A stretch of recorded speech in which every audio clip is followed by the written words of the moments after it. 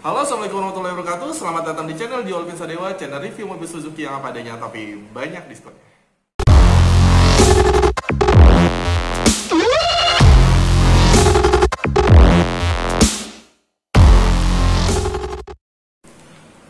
LMPV adalah market terbesar yang ada di Indonesia. Di tahun 2012, Suzuki ikut andil dalam hal itu dengan meluncurkan Suzuki R3.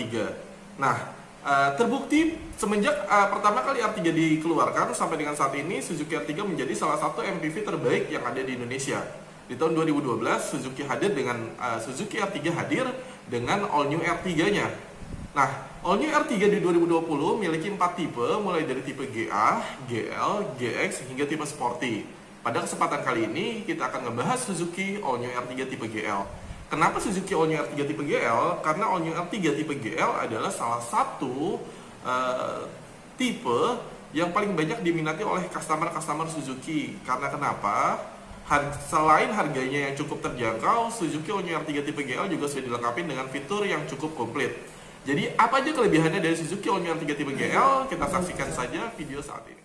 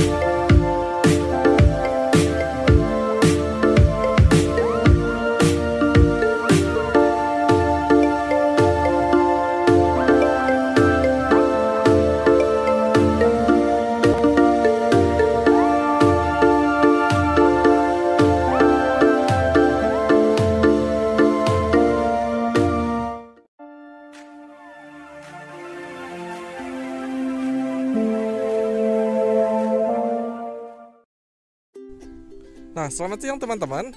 Kali ini kita akan ngebahas Suzuki R3 tipe GL. Suzuki R3 tipe GL adalah tipe menengah dari varian All New R3, di mana dia sudah memiliki headlamp halogen,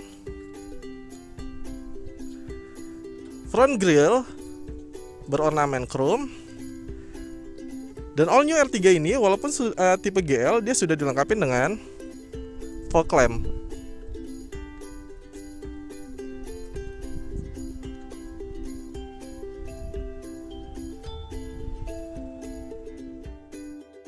Tampak dari samping, Suzuki R3 sudah dilengkapi dengan velg alloy dengan merek ban Dunlop. Dia juga sudah dilengkapi dengan uh, lampu sen atau turn signal yang ada di fender. Dia punya handle pintu selaras warnanya dengan bodi. Dan di setiap sisi pintu R3 sudah dilengkapi dengan teknologi yang namanya Start Impact Beam. Jadi ada baja yang memalang di setiap sisi pintunya. Ini adalah tampak belakang dari Suzuki uh, All New R3 tipe GL. Kebetulan video yang aku rekam ini adalah sudah ditambahkan dengan aksesoris spoiler karena ini sudah di custom. Sebenarnya dia belum ada penambahan spoiler, tapi dia sudah ada high moon stop lampnya. Lampu kombinasi di bagian belakang dan dua titik sensor parkir lebih menambah keamanan kalian pada saat parkir mundur.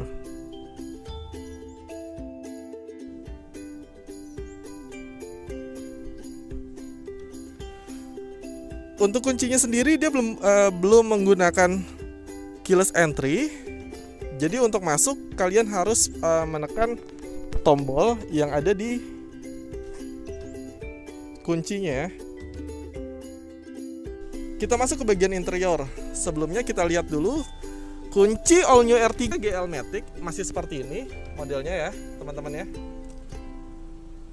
Nah, ini ada pengaturan untuk sensor parkir. Jadi sensor parkirnya itu bisa dinonaktifkan.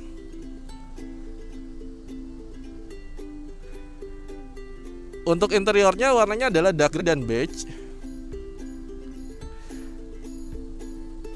Aksen pintunya juga dark grey.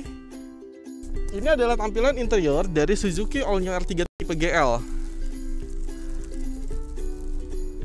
AC-nya modelnya seperti ini.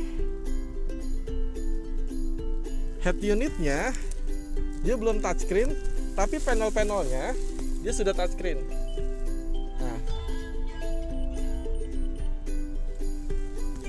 itu untuk panelnya ya. Suzuki R3 tipe GL tersedia di varian transmisi matic dan manual.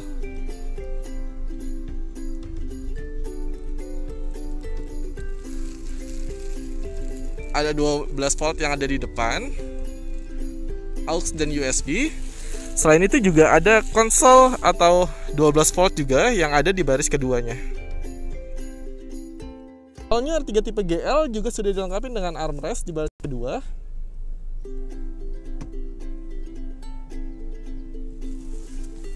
untuk sandaran tangan kalian. Dan di setiap sisi pintu Suzuki All-New 3 tipe GL sudah dilengkapi dengan konsol box atau tempat penyimpan minum. Selain itu juga di baris kedua, Suzuki All-New 3 tipe GL juga sudah dilengkapi dengan one sliding. Jadi kalau misalkan ada penumpang yang ingin masuk ke baris ketiga, penumpang baris keduanya tidak perlu turun lagi. Cukup luas untuk saya bertinggi 180 bisa langsung masuk ke baris ketiganya. Nah, berikut adalah sedikit ulasan tentang Suzuki Onyar 3 tipe GL. Uh, jika teman-teman uh, kurang puas tentang penjelasannya, teman-teman bisa hubungi saya ke nomor telepon yang ada di bawah video ini.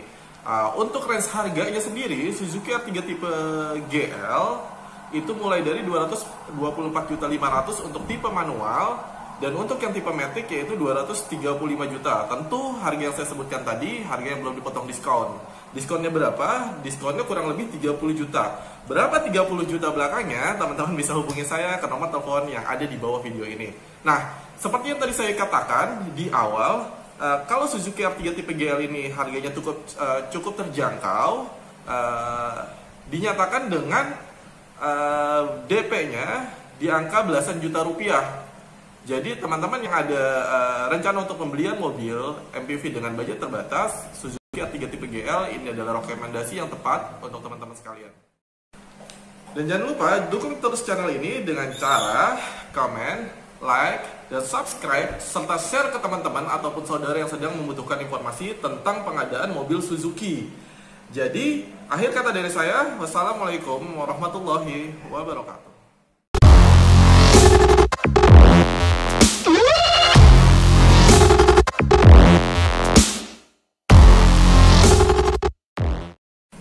Oh ya, lagi. Saya hanya bisa melayani pembelian Suzuki dengan plat B, F, dan T.